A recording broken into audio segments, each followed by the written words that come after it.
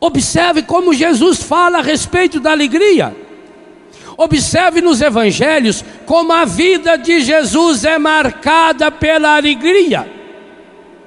Quando nós celebrávamos aqui no final do ano, recordando ainda a oitava do Natal, quando a Bíblia anuncia o nascimento de Jesus, a alegria toma conta da natureza inteirinha.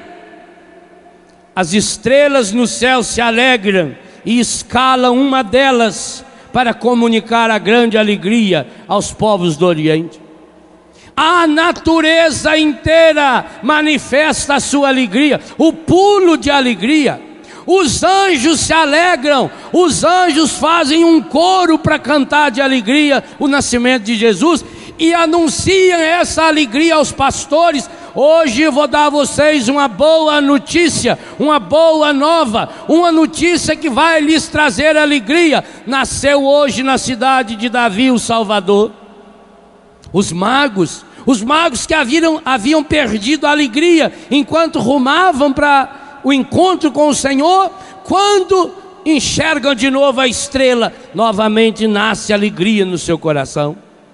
Antes de nascer, a alegria gerada no coração de Maria, que por sua vez leva essa alegria a Santa Isabel, que por sua vez passa essa alegria para João Batista.